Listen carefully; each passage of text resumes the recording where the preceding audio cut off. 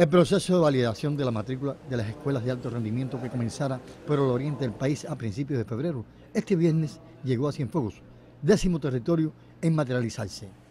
El trabajo permite a los metodólogos nacionales directivos del alto rendimiento y de la vicepresidencia del INDER conocer la cantera de atletas de perspectiva inmediata rumbo a los próximos ciclos olímpicos. El vicepresidente del INDER, Ariel Sainz, enfatizó en la apertura de validación de la matrícula en Cienfuegos elementos a tener en cuenta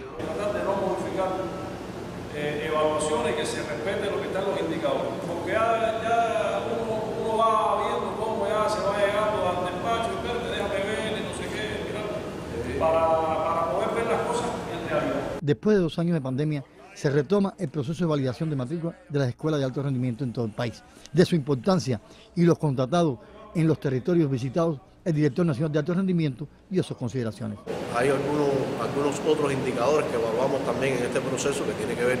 con la retención en nuestras escuelas, en la sede, en la sede del país. Eh, revisamos todo, todo lo relacionado con las reservas deportivas en los municipios, lo mismo que hacemos nosotros como reserva inmediata para equipos nacionales, también revisamos este proceso en cada una de las provincias, cómo se desarrolla hacia abajo, es decir, desde la base hacia la IDE, cómo está el proceso diseñado y que le permita que estos atletas que estén en, la, en las sedes provinciales todos cumplan con los parámetros de ingreso en cada uno de sus fue una de las provincias que ha venido en los últimos, en los últimos años eh, con resultados muy estables y con indicadores de eficiencia. no, podemos, no podemos ver nada más a la, provincia como,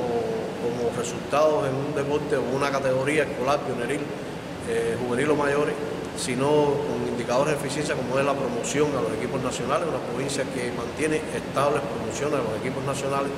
y es una provincia que, como tú decías, eh, los resultados integrales tienen que ver mucho con, la labor de su fuerza técnica,